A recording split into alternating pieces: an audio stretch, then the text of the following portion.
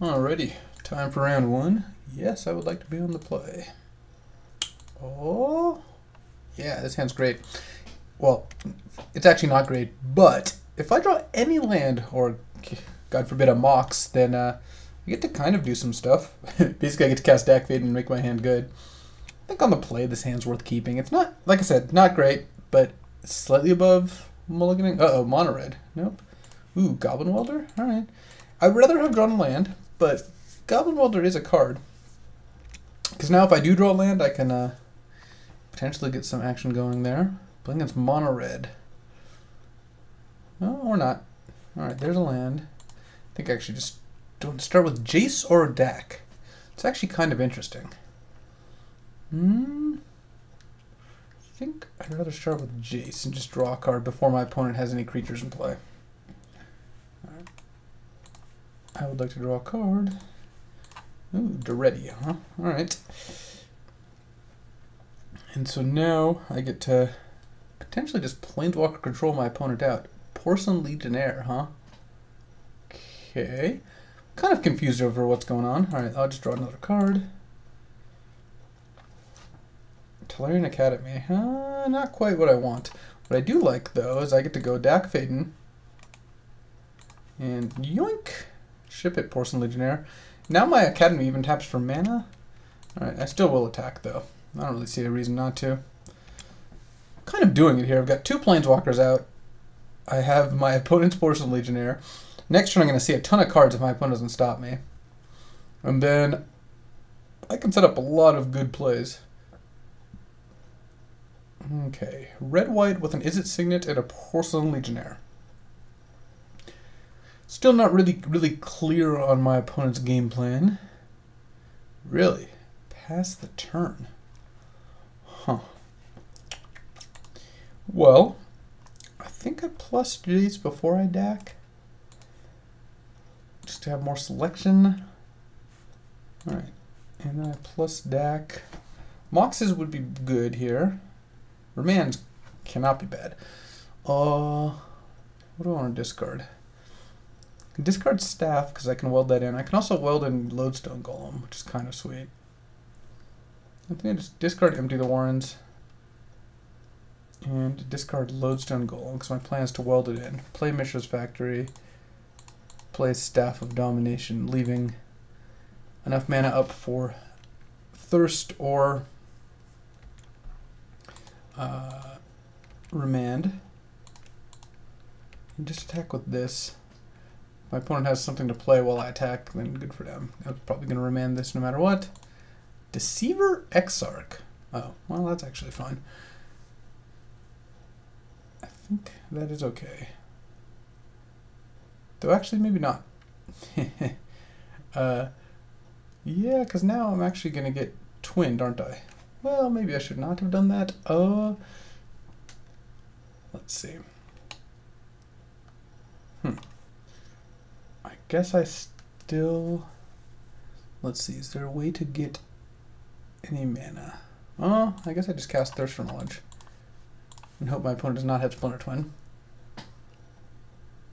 Alright, discard probably a Solemn. And then weld this and Lodestone Golem. At least this way, if my opponent has a Kiki-Jiki, they cannot cast Kiki-Jiki. If they have a Splinter Twin, then I am dead. Bonfire of the Damned. Oh. Jeez, that's going to be great. My opponent gets to kill my Lodestone. They get to Bonfire for three, killing Lodestone Golem, killing Goblin Welder, and then killing either Jace or Dack, and then attacking the other. Alright, well, it's not me getting Splinter Twin to death, but it is my opponent getting some value. Okay. We got ourselves a game here. It is good news that my opponent does not have a, a Splinter Twin. But it's bad news that my opponent drew a card that kills three of my permanents, all three of which are good. I mean, my hand's pretty good still, and my board's going to be alright, so I'm not too worried, especially since the Shardless Agent's going to go ahead and get me a Mox here. And then I attack Jace, I imagine? Yep. Ooh, Tanglewire, actually. Despite the hate that card gets, I think it can be pretty decent. If I start Shardless Agent into Sol Ring, I actually net mana, which is pretty cool. Oh, I guess it doesn't matter whether I tap Factory or not. Oh. I assumed I was going to hit a Mox. Alright, well, let's discard Island. No, I don't think I'm discarding anything else. Land. Play a Signet. Tap it. Play Tangle Wire. Pass the turn. This severely impacts what my opponent can do. Oh, I never wheeled that Brain Freeze. I just realized that now. Now I'm tilted. Uh, my Academy gets to tap for four mana now, so let's see. Let's fade this to three and tap Tangle Wire, Staff. Yeah, Sharp Decision is fine. I, I, want some mana, so I'm probably just going to play Dragon Lord Atarka this turn. Let's see. So this is four, five, six, seven. Yeah, I'm gonna plus Jace. My opponent has a lot of cards in their hand, so they're I'm not too worried about about uh, giving them extra cards. Like they already have a lot of cards and they can't cast very many because of my Tangle Wire. All right. Boom. Take that. Keep Remand up. Actually, yeah, who needs to keep Remand up? Let's just play Daretti. And let's minus two. I want to put a Lodestone Golem back into play, sacking Simic Signet. And now my opponent has to tap down three permanents. I have a Lodestone Golem in play, and I'm attacking for 15. I guess I'm one short of lethal next turn. No, actually I have lethal because of the Mishra's Factory. So my opponent has to have something pretty good this turn to not die. Well, I guess any blocker technically means they don't die, but they can't be in good shape here. All right. Uh, white, red, four color Splinter Twin. Uh, they could side in Smash. I saw Porcelain Legionnaire. Izzet Signet? But that seems a little thin. Same with Manic Vandal. I already have Dack Fayden for that. And Firestorm. Nah. Think I'm good. Alright. Uh, yeah, this hand looks fine. I get to play turn 2 Simic Signet, turn 3 Solemn. And get started that way. If I drew a Mox, that would be something. Ooh, this is the one time when I would rather have had Mishra's Workshop rather than Mishra's Factory, I think. Turn 1 Workshop would have been turn 1 Signet, turn 2 Solemn. Which is nice, I will admit. Alright, what's my opponent got? Alright. Turn 2 Signet, that's a thing. Alright, I'm not going to worry about keeping Remand up. Think I'd rather just ramp into Solemn.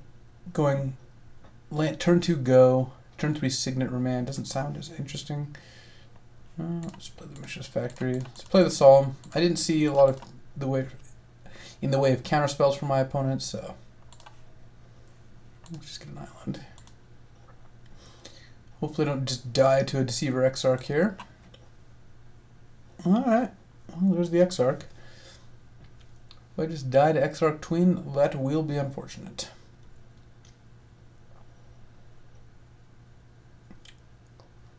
I mean, I assume my opponent's got Planar Twin and, and, and or Kiki Jiki in their deck, since you don't just play Exarch. Alright.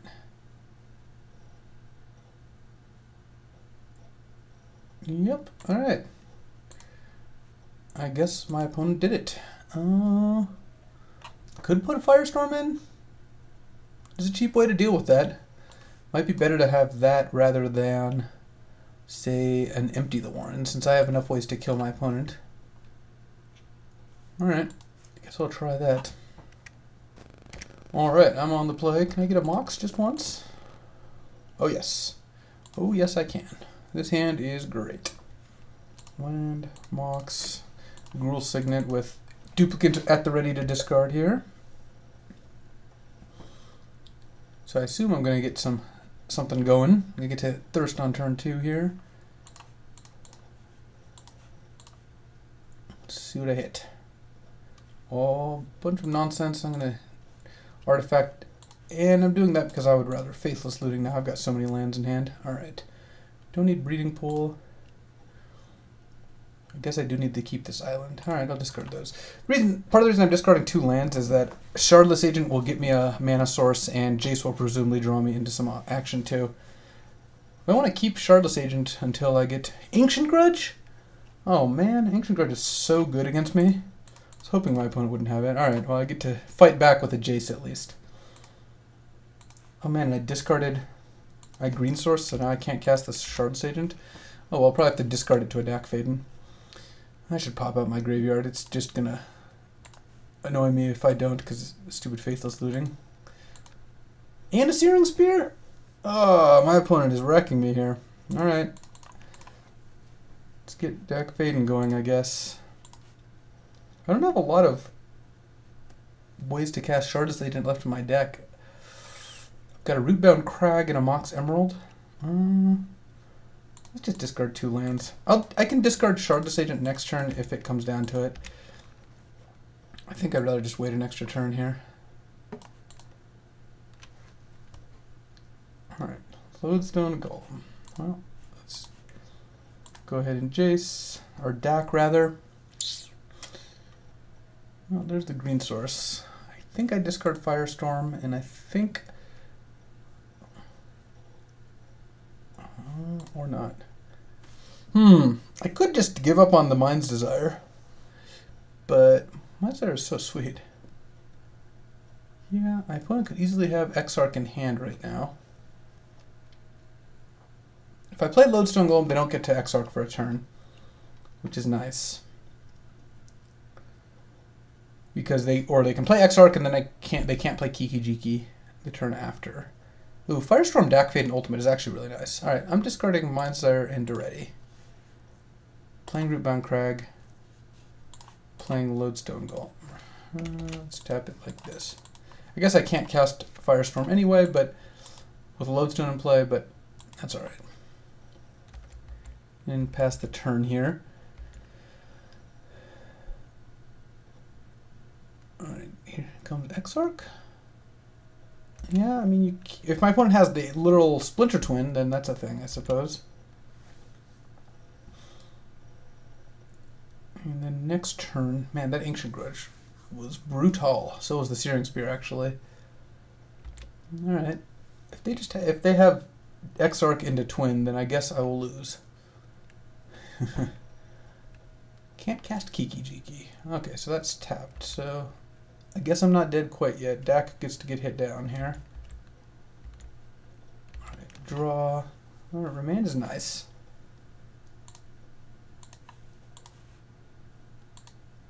Let's see here. Um, let's discard these two. Play Shardless Agent. Still have enough for Firestorm here. And I'm going to get like a Sol Ring or a Mox Emerald. Alright, and then I'm going to hit with the Lodestone Golem because I've got a blocker back. Working my way up to Dack Ultimate plus Firestorm, and I have a remand to protect me myself until then. So I kind of like my position. I've got a looting in my graveyard if I ever need to do that.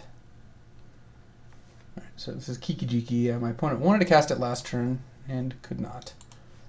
All right, remand it. And don't want to play too many things because I want to be able to Firestorm. I might have to Firestorm Kiki Jiki here because I'm not going to have time to Dack Fayden. Ultimate, rather, it's because my opponent hit me with that Deceiver Exarch. Um, I want to keep two cards in my hand. Yeah, I guess I still just discard those two. I'm not going to bother looting here. Mm, yeah, I, I, should I should attack. Don't think my opponent's going to block. Pass the turn. My opponent taps out for Kiki. I let it resolve. And then I Firestorm the Kiki Jiki for 2 and my opponent for 2 down to 5. So, I mean, my opponent's going to go for Kiki Jiki, I'm sure. This resolves make an Exarch copy, target it to untap the Kiki Jiki, and I will respond to that. One and two. Face. And discard two cards. Alright.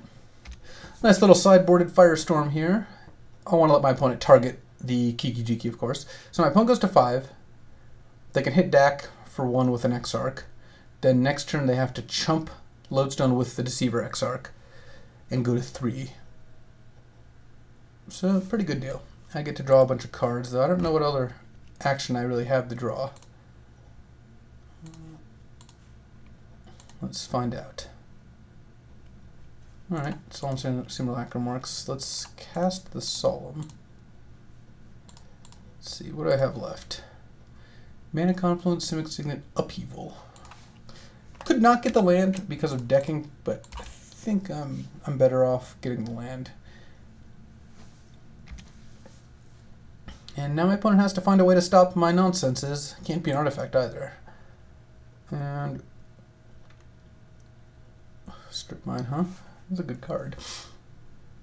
Ooh, what is this? This is, looks expensive. Oh, a bonfire? Oh, Wurmcoil Engine. the greatest thief in the multiverse. Alright, ship it. It's gonna be hard for my opponent to, to beat to beat this since they have one mana up and I have a Lodestone Golem in play. Alright, we beat Kiki Jiki Deceiver Exarch. Hooray!